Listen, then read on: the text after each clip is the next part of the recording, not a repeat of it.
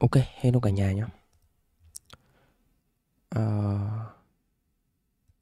Recording in progress. trong buổi trưa ngày hôm nay thì ờ, mình sẽ cập nhật thị trường mọi người một chút nhé. Vì tối mình sợ mình lại không ờ, zoom được nên mình sẽ zoom buổi trưa hôm nay. Ờ, mọi người mà bận thì lát nữa mọi người có thể xem lại. Nói chung là về cơ bản thì thị trường cũng không không thay đổi nhiều đâu anh em ạ. Nên nếu mà mọi người mà đang bận thì mọi người có thể ờ, thoát ra ngoài cũng được. Chả có gì thay đổi luôn, chỉ qua mình cập nhật cho mọi người ờ, mọi người ờ, giải đáp thắc mắc của mọi người cũng như để cho mọi người an tâm thôi. Thị trường vẫn vậy, không không không gì thay đổi anh em ạ. Nó mới chạy được đâu đấy ờ, một tháng. Tính đến ra đến hôm nay là thị trường nó chạy được một tháng rồi. Anh em bật khung tuần lên thì Bitcoin nó chạy được tầm một, tháng rồi. bốn cây lên tuần. Hôm nay là thứ hôm nay là thứ tư. Thì tính ra là thị trường nó mới chạy được một tháng thôi. Chúng ta còn đâu đấy khoảng tầm vài tháng nữa cơ. Thì thị trường nó mới có thể chạy được và nó có thể hoàn thành được cái sóng này. Vị thế này thì mình thấy là vẫn là ok đấy. Vị thế cũng rất là đẹp. Cũng rất là đẹp để mọi người có thể à, xuống tiền và mọi người đầu tư trong thời điểm này. Chúng ta nhìn thấy, hôm trước chúng ta nhìn thấy à, XPG nó tăng trưởng rất là mạnh, đúng không? Sau đó thì à, nối đuôi theo thì cũng rất là nhiều những đồng altcoin nó chạy này. Con XVG sau một cái đà tăng thì nó đang hình thành những con sóng giảm điều chỉnh trở lại rồi. Điều chỉnh về 65 tính ra là ẩm điều chỉnh. Con này tính ra điều chỉnh phải 30%. Con này điều chỉnh sâu đấy, XVG điều chỉnh sâu đấy. 30%. Con này chắc là full lực rồi, còn đẩy lên nữa thì mình không dám chắc. Nếu mà sắp tới mà thị trường tốt thì vẫn có thể nó đẩy lên khoảng 814 thì nó đạt cái mục tiêu là x10 được. Còn như chúng ta nhìn thấy ở trên thị trường thì bắt đầu có có một vài đồng coin nó cũng đang mon men nó đẩy. Ví dụ như là mọi người có thể đẩy thấy uh, story này nó cũng đẩy rất là mạnh đúng không? Tính ra con này nó x cũng rất là nhiều lần này. X hai lần rồi. Hơn hai lần chứ. 250%. À 150%, khoảng 2,5 lần. Giảm rất là lâu đúng không? Nó đẩy rất là nhanh. MBN cũng là một cái đồng coi đầy này. Ờ, nên hôm nay này hôm nay mình cũng có xem trả con SCDGB. Mọi người thấy là đợt trước mình có bảo với anh em là con SC mình con DGB mình không dám bảo có rác nữa không? Nó cũng tăng mà, anh em nhìn này. Không nói không nói mấy đồng coi này có rác được nữa rồi anh em ạ. Đấy, anh em nhìn nhá, cả hai đồng coi này sau cái thời điểm mà mình nói xong thì nó đều đều có một cái nhịp tăng trưởng. Tính ra là nó cũng tăng trưởng được khoảng tầm 30% rồi. Thậm chí nó còn tăng nữa chứ không dừng lại mức nền giá này. Còn ờ, DGB nó cũng tăng được khoảng tầm 4-5%. Sau cái thời điểm mà mình nói là mình không dám nhận định mấy đồng coin này đồng coin rác nữa rồi.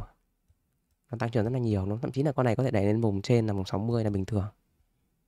Với con SC này. Bình thường luôn đấy, chẳng vấn đề gì luôn anh em. Nếu mà nó đẩy lên 60 tính ra nó phải nhân khoảng hơn 2 lần, 2,5 lần. Thì trong cái đoạn này thì uh, những cái đồng ăn coi thì uh, theo mình thì uh, chúng ta có thể tính toán chúng ta đầu tư được. Thậm chí là nếu mà để mà xác định ôm dài hạn thì vẫn có thể ôm dài hạn được trong cái thời điểm này. Nhưng mà chỉ qua thì mình tại vì sao mà mình lại không không khuyến khích mọi người trong nhóm của mình đầu tư dài hạn với những đồng ăn coi. Thì vì ăn coi nó biên độ nó rất là mạnh. Ví dụ sóng này có nhiều đồng ăn coi nó có thể tăng được khoảng 2 cho 3 lần, thậm chí có những con nó tăng được khoảng tầm 5 đến 10 lần đi. Nhưng mà sau khi mà nó tăng xong thì nó sẽ phải giảm chứ. Nó sẽ phải điều chỉnh trở lại. Thế tự dưng là không tối ưu được sóng. Nên về cơ bản là nếu mà để mà ôm dài hạn về an coi ở cái vùng giá này thì mình nghĩ rằng đây vẫn là một trong những cái vùng giá mà có thể tính toán ôm dài hạn được rồi. Nhưng mà ôm ở trong cái dạng này thì mọi người sẽ bị tâm lý là một này, chẳng may mà nó còn thêm một cái nhịp giảm nữa thì chúng ta sẽ bị tâm lý và cái thứ hai là nếu mà nó đẩy lên xong thì nó lại quay trở lại và nó điều chỉnh một cái con sóng rất là lớn thì mọi người sẽ không không không không tối ưu được ấy. ví dụ nhá ví dụ con này bây giờ SC này đi ví dụ mình đang lấy ví dụ là nó đẩy lên khoảng tầm giá 70 đi đấy sau đấy thì có thể là nó lại uh, nó lại đi xuống điều chỉnh xuống đây. Nó không test lại đáy cũ nhưng mà nó lại rơi về khoảng tầm giá 40 này thôi nó gần chia hai rồi còn gì đúng không? Sau đấy thì có thể nó lại dập dình dập dình ở đây một khoảng thời gian là chết rồi. Đấy, nên với mình thì không chưa khuyến khích mọi người ôm dài hạn lắm. Còn nếu mà anh em mà muốn ôm thì có thể ôm được. Nhưng mà sẽ phải thứ nhất là phải vượt qua hai cái là một là tâm lý hai là nó sẽ không tối ưu được. Nên theo mình nếu mà sắm sắp tới mà nó đẩy thì cân nhắc có thể anh em có thể bán ra. Con hót con đẩy phun được hay chưa hiếu? Con này chưa đẩy ạ. Con em thấy con này chưa đẩy đâu. Hôm qua nó có, hôm qua hôm kia là mình có tăng được một tí. Con này không, gần như chưa đẩy. Nó đẩy một tí này, nó không gọi là đẩy. Con này đẩy, nó phải đẩy lên test lại đỉnh cũ khoảng 3.1 thì mới gọi là đẩy. Còn con này thì gần như là nó chưa đẩy đâu ạ. Ít nhất là phải lên 3 đô xa hơn thì phải lên trên vùng trên này. Nhưng còn con này chưa tăng đâu ạ.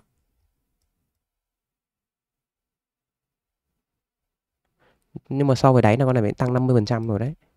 Sợ nhỉ so với đáy tăng 50% nhưng mà về full sóng thì nó chưa tăng lắm.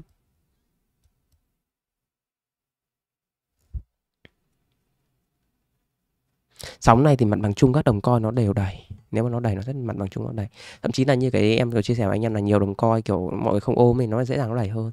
Còn mọi người ôm những cái đồng coi uh, ờ, nền tảng thì nó được an tâm hơn thôi. Ý ví dụ chẳng may mà thị trường nó có giảm nữa thì nó cũng sẽ không bị xả quá mạnh nữa thôi đấy nhưng mà không sao đâu mọi yên tâm là cho dù những đồng coin nào nó cũng sẽ nếu mà đợt đợt này mà nó theo những cái dự kiến của của em thì nó đều tăng giá thôi. Không biết là sắp tới nó như nào. Về xu hướng bitcoin chúng ta nhìn qua một chút nhé xu hướng của bitcoin thì hiện tại cái đà tăng của thị trường thì vẫn khá là ok thôi. Ờ, giai đoạn này thì uh, với mình nhá với mình thì uh, với một cái con sóng trung hạn và một con sóng dài hạn thì mình sẽ khuyến khích là mọi người mua vào chứ không không khuyến khích mọi người bán ra. Còn nếu mà mọi người mà mua được ở cái nền giá bên dưới rồi thì vẫn có thể giữ nhưng mà với mình thì nếu mà để mà nhìn về cái sóng trung hạn và cái sóng dài hạn thì mình sẽ khuyến khích là mọi người có thể mua mua vào để chúng ta đánh một con sóng tiếp tục nó tăng trưởng trở lại. Tại vì thứ nhất là nếu mà mọi người mà có có ôm ở cái nền giá này thì nó là một cái nền giá mà vẫn ok cho một cái xu hướng uh, đầu tư dài hạn. Tại vì với mình thì bitcoin trong cái chu kỳ sau thì nó sẽ vượt qua cái đỉnh cũ là 70.000 đô thôi chứ nó sẽ không dừng lại. Nên đây vẫn là một cái nền giá tốt về sóng trung hạn thì uh, nó cũng không phải là một vấn đề gì nó quá nguy hiểm. Nó vẫn là một cái nền giá mua rất là ok thôi. Thì target nếu mà đẹp đẹp thì trong cuối năm nay thì chúng ta có thể nhìn thấy hoặc là sang đầu năm sau mình không biết nữa nhưng mà mình dự kiến là nếu mà nhanh nhất thì trong cuối năm nay. Đấy là phải nói mọi người trước là khoảng thời gian nhanh nhất là trong cuối năm nay có thể đẩy lên được. Còn ví dụ nó dây sang tháng 1, tháng 2 thì mình không biết nhưng mà theo mình thì nó không quá một năm đâu. Tính từ tháng 6 thì đến bây giờ nó không quá một năm đâu thì để có thể chinh phục được cái target vùng trên là khoảng 4 năm đến 50 ngàn. Thì đây vẫn là một cái view uh, chính mà mình đang hướng tới với mọi người. Cái, cái sóng này là cái sóng mà chúng ta mình đang hướng tới mọi người cơ chứ không phải là cái con sóng chỉ lên 30 ngàn hay là 32 ngàn. Thì view của chúng ta thì có thể nó sẽ đẩy lên vùng trên này. Nó khoảng vùng ờ, 45 đến 50 ngàn đô. Và thực ra là một số anh em hỏi mình là vùng 35 ngàn đô thì có nên tối ưu hay không? Thỉnh thoảng có một số anh một số anh một số anh em ở trong nhóm ấy mọi người hỏi em là ôm những cái ờ, đồng coi ờ, à, ôm bitcoin thì đến đến vùng 35 ngàn đô thì có nên tối ưu hay không? Thì thực ra là với em thì không nên tối ưu thậm chí là nếu mà nó đẩy lên được 35 ngàn đô thì vẫn có thể mua vào chứ không không phải là ý là nếu mà anh em mà làm ra hàng tháng mà mọi người có tiền thì vẫn có thể mua vào chứ không nên tối ưu tại vì nó đã lên 35 ngàn đô thì nó rất là yên tâm rồi, mình cũng không không cần thiết là mình phải tối ưu làm gì cả. Thì đoạn này mà mọi người đánh bitcoin thì mình đang hướng tới mọi người là đánh những con sóng chính thôi những con sóng lớn thôi. Đây là những con sóng lớn của nó này. Đây là những con sóng mà mình thực sự mình muốn hướng tới chứ không phải là những cái con sóng con sóng quá bé. Hay là những cái con sóng ở vùng trên này. Đây là những cái con sóng mà mình đang hướng tới cơ chứ còn bây giờ cái sóng 20% 30% thì nó cũng không không phải là cái mà mục tiêu mình đánh lắm. Mà mình đang hướng tới với anh em là đánh để chúng ta có thể tối ưu và chúng ta có thể mang lại một cái tỷ suất lợi nhuận lớn. Thì trong giao dịch và trong thị trường thì mỗi người có một cái chiến lược chơi, mỗi cộng đồng, mỗi một đội nhóm, mỗi một cái người đứng đầu cộng đồng thì họ lại có một cái chiến lược chơi và có một cái tư duy về thị trường khác nhau chúng ta cũng không thể nói là cái chiến lược chơi của họ sai và chiến lược chơi của mình đúng, hay là chiến lược chơi của mình sai và chiến lược chơi của họ đúng. Cái quan trọng là tư duy của chúng ta khác nhau thôi. Nên với mình thì ờ, đây là chiến lược chơi của mình nhá, chứ không, mình không có ý là bảo anh em cộng đồng khác hay là mọi người khác là đầu tư là sai. Mà chỉ đơn giản là nó phù hợp với mình thôi. Và mình tin là cái con đường đi của mình thì trong một vài năm tới nó sẽ tiếp tục, nó sẽ đến đích lần thứ ba đấy, thì nên mình đi thôi, chứ còn bảo là đúng sai ở trong cộng đồng thì nó khó lắm anh em. Hôm nay người này đúng thì mai người khác lại đúng. Nên cái quan trọng nhất là mọi người có con đường đi. Với em thì em có định hướng cái con đường đi của em như vậy. Và cái con đường này thì thì nó cũng chỉ là một trong những con đường đến đích thôi. Chúng ta đi một cái câu chuyện mình chia sẻ nó khá là nhiều rồi. Từ trên cái cơ quan, từ trên công ty của mọi người để mà đi về đi về nhà. Chúng ta không phải chỉ có duy nhất một con đường mà chúng ta có thể biến thể ra có đến tận 10 đến 20 con đường. Đúng không ạ? Thì trong thị trường nó như vậy. À, mỗi người có một cái hướng đi. Tất nhiên là cũng không phải là con đường nào cũng đến đích được. Có những con đường mà nó dẫn mọi người đi ngược chiều. Có những con đường nó dẫn mọi người quay trở lại và nó đi xa hơn. Đấy nhưng mà cái mà anh em quan trọng là mọi người có niềm tin về con đường đi của mọi người thôi. Thì với em em em có cái hướng đi riêng của em thì nếu mà mọi người mà thấy cái suy nghĩ của em hay là cái quan điểm, cái nhận định của em nó phù hợp thì mọi người có thể nghe. Chứ mình thì cũng không muốn mọi người đang nghe theo kiểu là tuyệt đối quá mà mọi người cũng nên có nhận định riêng. Ví dụ có những cái thời điểm mà mình nhận định nó không đúng là bình thường chứ. Có thời điểm mình nhận định sai là bình thường chứ. Ví dụ anh em mà thấy nó không yên tâm thì mọi người có thể có thể đứng ngoài. Đấy. Chứ không phải là lúc nào mình nhận định cũng đúng đâu. Ai cũng vậy trên cộng đồng thì gần như không thể nào nhận định đúng một trăm phần trăm được cái quan trọng là có tư duy đúng thôi, còn nhận định nó sẽ có xác suất. Với mình mình mình mình thấy như vậy. Anh ơi, vậy sóng này ăn coi, sóng đẩy hết sang BTC sao á? Sóng này nếu mà nó đẩy xong ấy, thì tạm thời sẽ cắt ao ra đô, chứ cũng không nên giữ Bitcoin. Tại vì nếu mà Bitcoin sóng sắp tới mà đẩy lên khoảng tầm bốn năm đến 50 ngàn thì ít nhất nó sẽ có một con sóng điều chỉnh khoảng 30 cho đến 35 phần trăm. Đấy là mình nói là ít nhất, nó có thể lên đến 40 phần trăm nhưng mà theo mình thì cái mức đẹp nhất nó sẽ chỉ rơi khoảng tầm 35 đến 4, 30 35 phần trăm thôi. Thì anh nghĩ là nếu mà sóng này mà nó đẩy lên được thì nên cắt out ra đô. Sau đó thì mình sẽ phân bổ lại cái danh mục và cái tỷ trọng đầu tư nó sẽ ok hơn.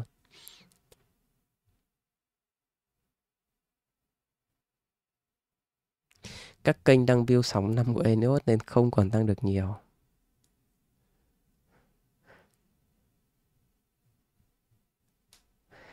À anh vẫn đang ôm Bitcoin thì có cơ hội nào di chuyển sang altcoin an toàn chắc chắn hơn không hiểu Thực ra thực ra thì với em thì, cũng không không thể giải thích mọi người được là đâu là thời điểm mà nó an toàn nhất. Nhưng mà theo em thì đây là một cái thời điểm mà nó khá là ok thôi. Anh có thể chuyển cái tỷ trọng khoảng 30% sang nếu mà anh cẩn thận, anh có thể chuyển cái tỷ trọng 30% sang không cần nhiều.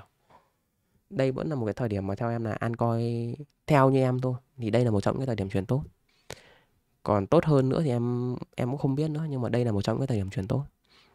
Hoặc là anh đánh theo kiểu an tâm ấy, thì anh đợi cho em khoảng tầm năm sau đi. Năm sau nó sẽ có một cái vị thế mà nó rất là rất là an toàn để đánh ăn coi nữa. Thì có hai vị thế là một là vị thế thời điểm này và hai là vị thế là năm sau nữa. Chào bạn ngân. Mình hôm nay mình zoom trưa nhé mọi người nhá. Tối sợ mình bận nên mình không zoom được. Sóng năm của e nữa đó sóng năm của em nữa đó mình không không không không, cái suy nghĩ và cái view của mình về thị trường nó sẽ khác so với cộng đồng nhá. Em cũng không có ý định, ý kiến gì về cái sóng Enus đâu. Cái đấy là do mọi người thôi.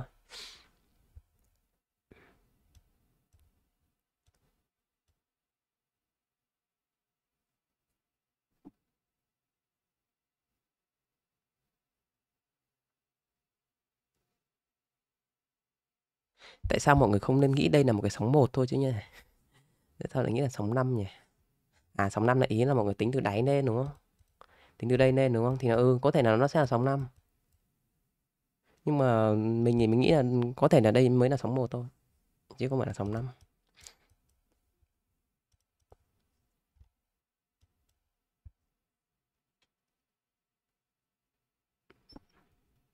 Nói chung là sóng Enos thì em không không muốn phân tích và em cũng không muốn nói mọi người, chia sẻ mọi người nhiều ấy.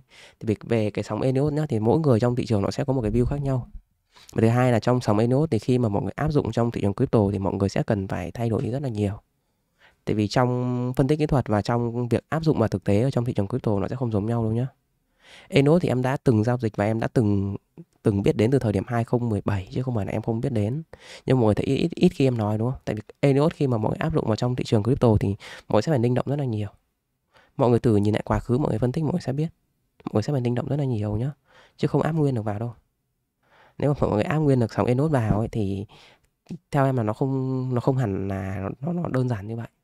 Tại vì trong giao dịch đặc biệt là trong một cái thị trường làm giá như thị trường crypto thì mọi người rất là rất là linh động thì sóng Enos nó sẽ không gần như là cái tỷ lệ nó xảy ra trong sóng Enos trong crypto nó sẽ không tỷ lệ nó xảy ra không cao. Và mỗi sẽ phải biến thiên nó đi một chút.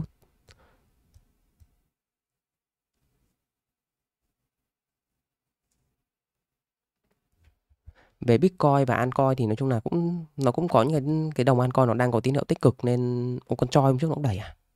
Con choi này nó giảm sâu nhiều mọi người nhỉ thậm chí là con này còn phá đáy cơ. 24 mà nó phá đáy 24 mà nó còn về tận 17 17 nó đẩy gần nhân 3 luôn. Sợ mấy cái đồng Altcoin đến lúc nó vào sóng tăng lắm. Nó đẩy rất là kinh luôn ấy. Gần x3 còn gì.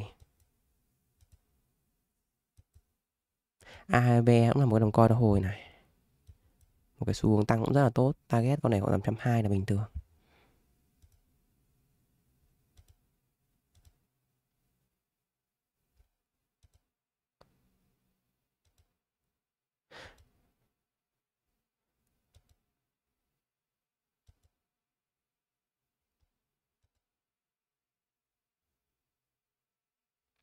Chưa tăng nhiều. Nói chung là theo như mình thì cái tỷ lệ mà được đẩy ở trên thị trường chắc đâu đấy khoảng tầm hai ba phần trăm số lượng các cái đồng coin được đẩy thôi. Dưới năm phần trăm thôi.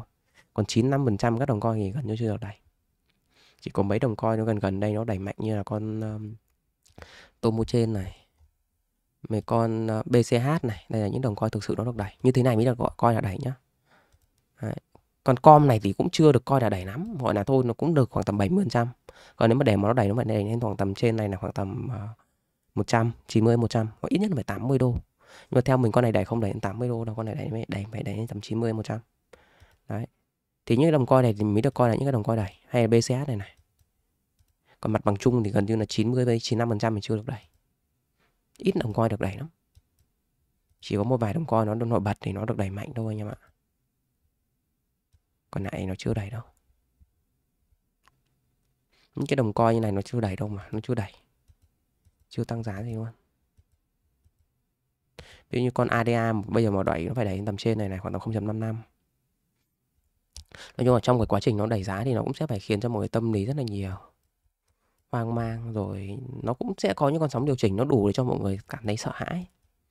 Thứ nhất là cái con sóng ngày hôm trước đúng không ạ? À, hôm trước chúng ta có một cái tin về uh, bitcoin ở trong buổi tối. Này có một cái thông tin mọi người đọc tin tức thì mọi người biết đúng không? Có một cái tin tức về bitcoin đây. Sau đó thì khiến cho khiến cho bitcoin chúng ta nó giảm một cái nhịp. Nó ghê chứ đúng không anh em? Mọi người thấy ghê không ạ? Cây M30. Cây M30 mà nó giảm đúng một cây thôi. Mình nhớ là hôm đấy mình đăng nai xong sau đó nó tụt luôn. À không mình nai xong rồi sau đó khi mình kết thúc nai một lúc thì nó tụt. Đây, nó xả cho mọi người ví dụ nhá hôm đấy mình nhớ là hôm đấy thị trường nó đang lên thì mọi người cũng rất là hào hứng. Mọi người bảo biết nó đẩy các kiểu nến xanh đẹp sau nó xả cho mọi người đúng một cây nến đỏ thôi nó cân bằng hết. Cả một cái quá trình tăng giá của mọi người từ đây. Lại từ đây từ đây đến đây nó xả cho mọi người đúng một cây nến thôi. Đúng không? Sau nó lại hồi lại. Rồi sau hôm trước nó lại có tin tức hay sao ấy, nó tiếp tục nó có tin tức gì đấy nó lại tiếp tục nó lại, nó lại hai đầu. Một cái vòng lặp nó cứ lặp đi lặp lại có nghĩa là trong những người con sóng chính ấy thì nó sẽ phải tạo ra những con sóng nhỏ để cho mọi người hoang mang để cho mọi người không giữ được. Nó sẽ tạo ra những con sóng mà đủ để cho mọi người mất đi cái sự kiên nhẫn và nó đủ để cho mọi người sợ hãi. Đây này ví dụ nó tạo ra những con sóng này thôi. Nó như cái con sóng mà người chơi rất là hoang mang nhưng mà đến lúc mà khi mà nó chạy xong rồi mọi người sẽ thấy bình thường. Khi mà thị trường nó chạy xong giá rồi nhá thì mọi người sẽ thấy rằng những cái vùng nó giảm giá như này là bình thường nó, nó chẳng có vấn đề gì tại vì sao mà mọi người lại thấy nó bình thường ở đây. Bây giờ khi mà giá nó chạy xong rồi, anh em thấy những cái giống này nó bình thường lắm. Thậm chí là những cái anh em mà chưa nhảy vào thị trường ấy, mọi người chưa chưa nhảy vào thị trường ấy, thì mọi người còn còn nhìn thấy cái này gần như là cái điều đương nhiên cơ. Nhưng cây nến nó thấy nó bình thường quá. Nhưng mà nếu mà anh em mà giao dịch ở thời điểm đấy, mọi người thấy nó không bình thường đâu. Mic hơi bị rẻ mọi người nghe mic có bị rẻ không? Nếu mà trong thời điểm này mọi người giao dịch mọi người không bình thường nó giống như là cái câu chuyện là bây giờ mà mọi người trở lại những cái con sóng phân tích lại những con sóng của hai không uh, đây này. Bây giờ giống như những cái con ngày xưa bây giờ mọi người quay trở lại mọi người nói những cái con sóng này thấy nó bình thường đúng không? Mình cá với anh em luôn bây giờ anh em cũng thấy nó bình thường luôn ấy chả có vấn đề gì. Tại vì sao mọi người thấy nó bình thường tại vì mọi người thấy tương lai là nó tăng giá rồi.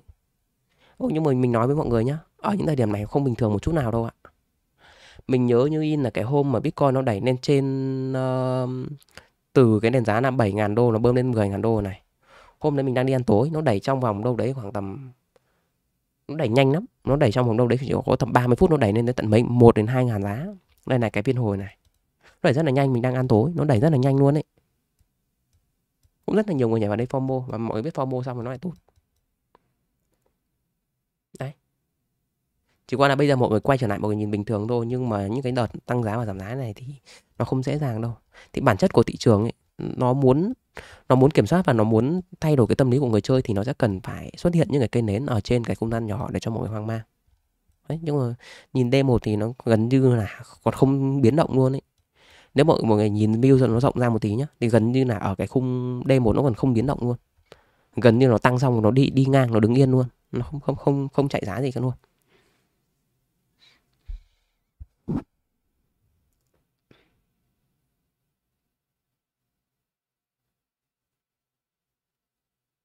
Bọn đang được đẩy nghe tên Hạ Thế Hiếu toàn nô cáp ạ. Thực ra trên thị trường nó có quá nhiều đồng coi ấy, nên mọi người không biết được. Nhưng mà thường là những đồng coi mà nó được đẩy sắp tới mà nó đẩy đẩy mạnh thì có thể là những đồng coi cáp nó vừa vừa thôi. Những cái đồng coi mà nó cáp nó lớn quá khoảng một vài tỷ đô hoặc là 10 tỷ đô thì nó chỉ đẩy được nhân khoảng 2 3 lần thôi. Còn những cái đồng coi mà nó muốn tăng mạnh thì bắt buộc phải là những đồng coi cáp bé thôi. Chứ còn nếu mà cáp của nó tầm 1 đến 10 tỷ đô rồi thì nó đẩy sẽ khó hơn, nó chỉ đẩy nhân khoảng 2 3 lần thì nó cũng là một cái sự thành công rồi. Còn những cái đồng coin nó bé nó có thể đẩy nhân được nhiều lần hơn, 5 lần. 5 lần nó sẽ là một cái mức mà nhiều đồng coin đẩy được. Còn cái mức 10 lần thì sẽ ít. Đấy, để em phải nói trước là mức 5 lần thì sẽ nhiều đồng coin đẩy được, còn mức 10 lần thì sẽ ít. Còn 2 3 lần thì nó là cái mức mà tối thiểu nếu mà nó nó hình thành cái con sóng này hoàn thành. Kể cả những đồng coin cáp lớn nó vẫn đẩy ít khoảng 2 3 lần. APT thì vẫn có thể giữ được thôi em ạ. Con đấy nó sóng vừa rồi nó đẩy mạnh quá nên nó giảm cũng rất là sâu đúng không ạ? Nhưng mà hôm qua nó có hồi rồi, hôm qua nó có một cái nhịp hồi lên 8.2. Mới bây giờ nó lại nó lại tụt về 7.6 nhưng hôm qua có một cái nhịp đầy lại rồi. Gần nhất chúng ta có thể hướng tới vùng 13 đô ạ. Xa hơn đỉnh cũ thì vẫn có thể hướng tới được. Nhưng mà gần nhất thì có thể hướng tới cho em là khoảng vùng 13 đô trước. Xa hơn thì sẽ khoảng 18 đô.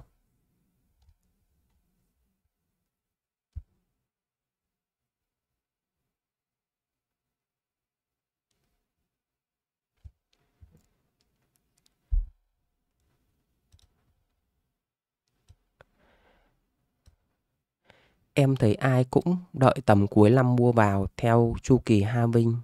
Nếu vậy thì có khi nó vi nên luôn hay không anh nhỉ? Cái này thì anh không biết nhưng mà anh anh đang view là từ giờ đến cuối năm là tăng giá. Sau đấy đâu đấy khoảng tầm đầu năm sau thì mua. Còn cái việc mà mọi người phân tích theo chu kỳ hay là mọi người phân tích theo quá khứ ấy, nó chỉ là một dữ liệu thôi. Nó sẽ không nó sẽ không bao giờ nó chạy đúng 100%. Nó mà chạy được khoảng cỡ khoảng tầm 60% so với quá khứ nó đã thành công lắm rồi nhá thật bây giờ có thể mọi người không tin đâu nhưng mà sau này mọi người khi mà nó chạy trong cái chu kỳ này xong mọi người sẽ nhìn thấy là nó chỉ cần nó giống được 60% của chu kỳ trước đã thành công. Còn không có chuyện là nó đúng 100% đâu nhá hay là 90% đâu nhá. Mình cá mọi người luôn. Chỉ còn là bây giờ nó chưa chạy nên thành ra là mọi người mang cái dữ liệu quá khứ của những cái chu kỳ gần nhất. Nhưng mà mình cá mọi người luôn là nếu như cái chu kỳ này mà nó chỉ cần đúng được 60% đã thành công lắm rồi. Còn bạn 100% thì không đâu. Những cái khoảng thời gian, những cái mốc thời gian tăng giá ví dụ như là ở cái chu kỳ trước là cuối năm là tăng giá đi, à giảm giá đi. Thế chu kỳ này nó không chắc là cuối năm đã, đã giảm giá đâu nhá.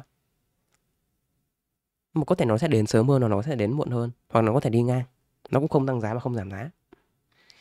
Nhưng mà về cái quy trình chung thì có thể nó sẽ nó sẽ nó sẽ nó sẽ còn đúng khoảng tầm 60% nhưng mà đúng 100% thì không.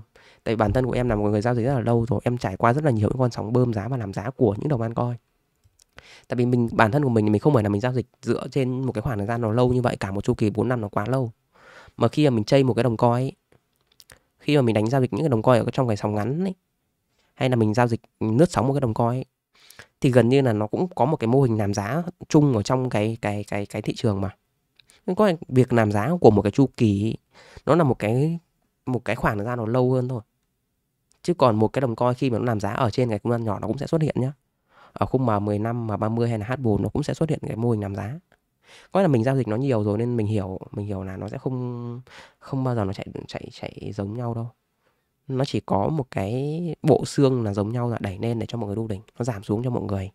Mọi người ờ, bị đu mọi người bị mất tiền. Và trong cái quá trình nó tăng giá và giảm giá nó sẽ xuất hiện những cái cây nến mà 15 mà 30 để cho mọi người hoang mang. Thì cái đấy là cái cốt chung nó sẽ giống.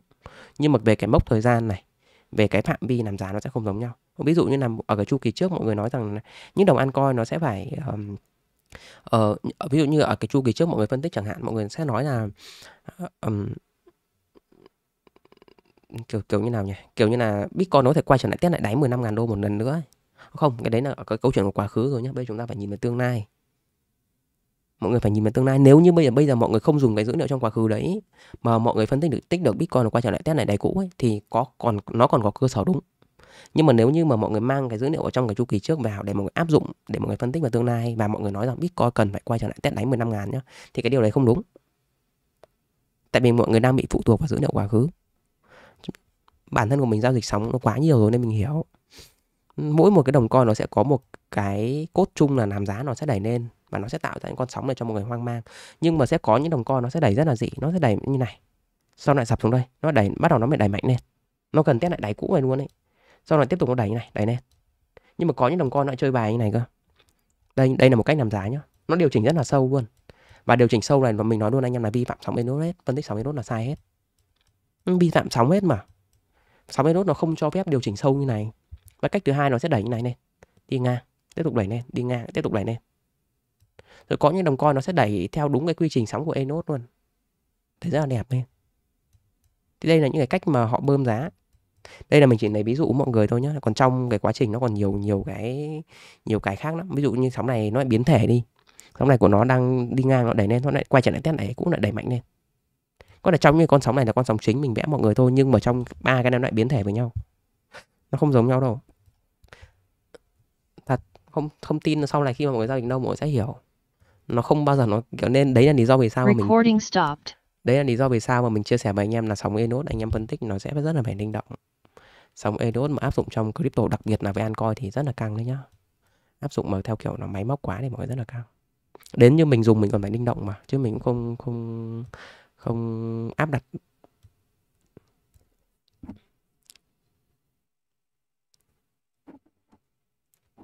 Đa phần là mọi người view vào cuối năm là ôm hàng, đúng không ạ? Cái này em không biết đâu.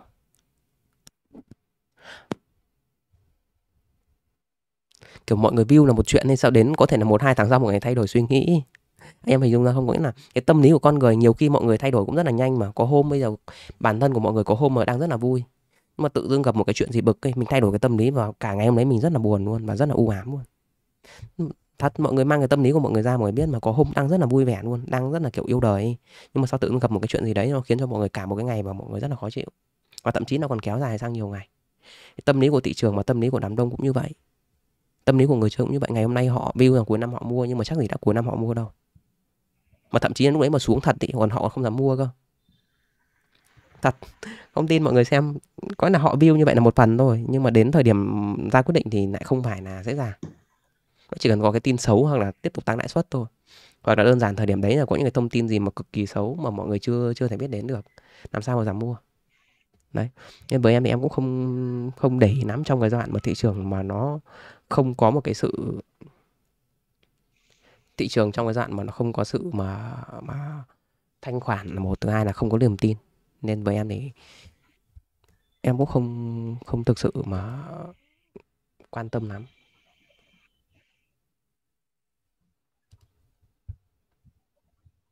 Cho buổi zoom này em sẽ zoom một lúc nữa rồi em sẽ kết thúc nhá.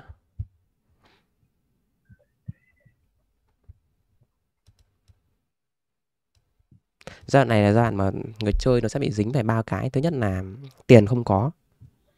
Tiền bị chia tài khoản hết rồi. Cái thứ hai là, cái thứ hai là cái lượng người chơi bị giảm rất là nhiều. Ngày xưa cộng đồng Việt Nam có khoảng tầm 5 triệu người chơi. Hơn 5 triệu khoảng 5 năm triệu. Bây giờ chỉ còn đâu đấy khoảng tầm 500 nghìn người thôi. Ngày xưa mà tổng số tiền của họ có số tiền, tổng số tiền là 5 tỷ đô. Bây giờ chỉ còn đâu đấy khoảng tầm 500 triệu. Căng lắm là khoảng 1 tỷ đô thôi. À đâu, làm sao được? Đấy là những người còn lại thôi ví dụ như là tổng tiền là 5 tỷ đô, chia số lượng người xem bị mất đi 10 lần là chỉ còn đâu đấy khoảng 500 triệu. 500 triệu đấy nhưng anh em còn lại chắc là giỏi lắm, được còn khoảng tầm 200 triệu. Thứ hai là niềm tin còn hay không? Ba cái, nó dính ba cái về số lượng này, về cái niềm tin này, và thứ hai là về cái số lượng tiền. Ba cái như vậy.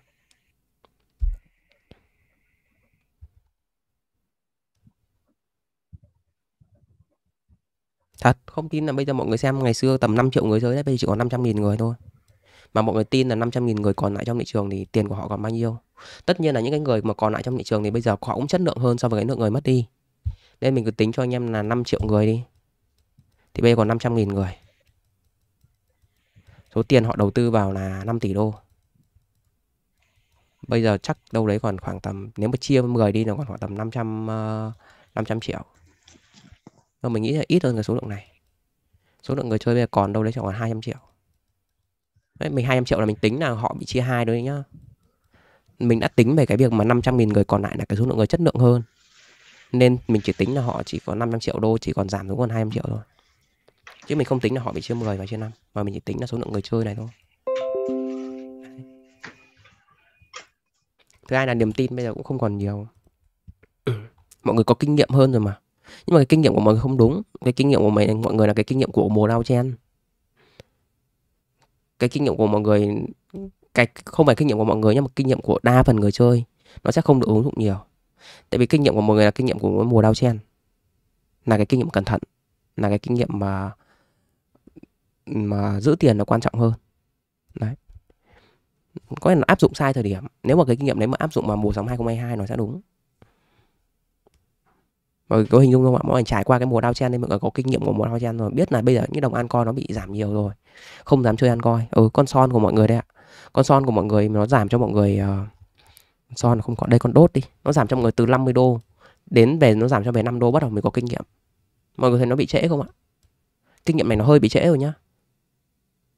Nó chia 10 xong bắt đầu mọi người mới có kinh nghiệm. Nhưng mà nếu như cái kinh nghiệm đấy của mọi người mà phát hiện ra ở thời điểm này thì nó rất là ngon luôn nhưng mà thời điểm này thì kinh nghiệm này thì nó hơi bị trễ. Mà đa phần người chơi đều có kinh nghiệm như vậy. Họ nghĩ, trên cộng đồng họ nghĩ là họ có kinh nghiệm, nhưng mà thực ra là kinh nghiệm của họ là những cái kinh nghiệm mà mà mà mà mà không áp dụng được mấy.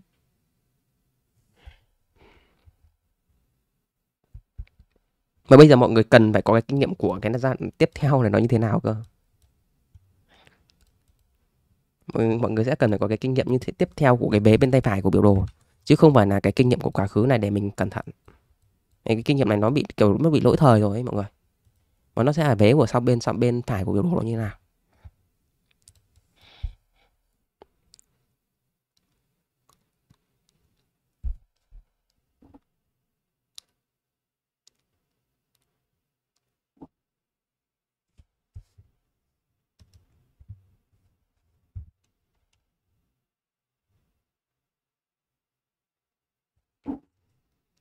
Về thị trường thì nó vẫn vẫn vậy thôi nhá mọi người nhá. Nói chung là cũng không không, mình không nghĩ không nghĩ là thị trường trong giai đoạn này mà nó biến động nhanh quá được đâu. Lâu lắm, nếu mà để mà nó đẩy lên thì có thể mất nhiều tháng tầm 35 ngàn thì mình nghĩ là nhanh. Nhưng mà nếu mà nó đẩy lên khoảng tầm 50 ngàn thì lâu. 50 ngàn thì cũng cần thời gian khá là lâu.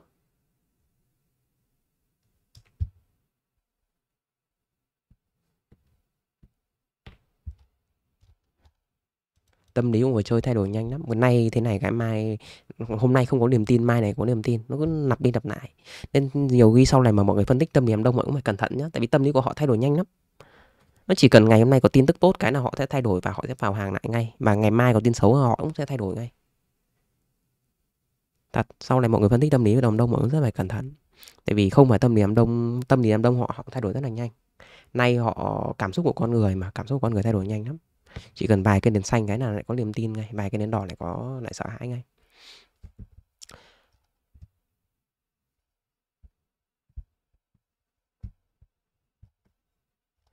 Anh hiểu thấy sao về chỉ báo mây Ichimoku mây phẳng Ichimoku anh ít dùng lắm, chỉ qua là anh cho vào đây anh anh phân tích thôi. Còn bình thường trong cái hệ thống giao dịch của anh hiện tại thì anh không dùng không dùng Ichimoku anh có dùng trước đây thôi nhưng bây giờ anh không dùng. Thỉnh thoảng anh cho vào cho nó đỡ chống biểu đồ thôi kiểu mọi người bảo không cho chỉ báo vào, nên mình có cho vào cái này vào nhìn cho nó đẹp đẹp một chút thôi. Chứ còn Ichimoku thì bây giờ nó không nằm trong cái hệ thống giao dịch của anh.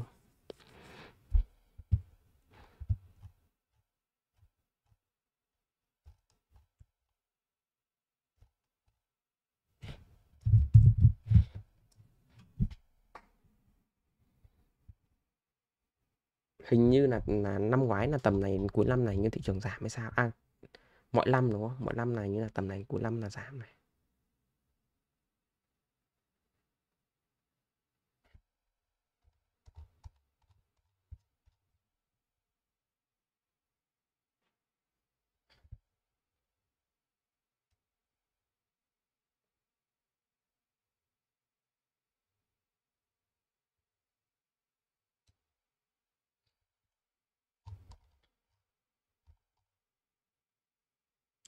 Hiếu xem lúc con MAV nó con MAV em thấy là hôm trước nó đẩy từ 0.04 nó đẩy 30% đấy. Con MAV nó mới đẩy 30%. Không biết là bây giờ nó còn giữ được hay không. Mọi người chia ra mọi người ôm thôi. Em nghĩ là mọi người cứ chia ra mọi người ôm, đừng ôm tập trung vào một hai đồng. Nó đang điều chỉnh khá là tốt này, sóng H4 hoặc là H1 H2 nó đang điều chỉnh cũng rất là ok thôi ạ. Cũng không có vấn đề gì. Thứ hai là sóng của thị trường nó đang tốt nên mọi người vẫn có thể xuống tiền mọi người đầu tư được. Chỉ còn là em thì em vẫn bảo mọi người là không không được không được tập trung vào một, hai đồng mà bắt buộc phải chia ra để hạn chế rủi ro. Sóng của H4 thì đang vào phiên điều chỉnh của H1 này. Cũng không không có vấn đề gì cả.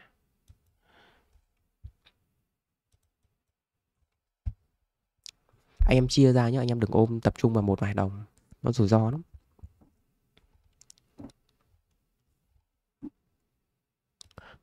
Hai con C trên 8 nó bắt đầu hồi lại rồi này.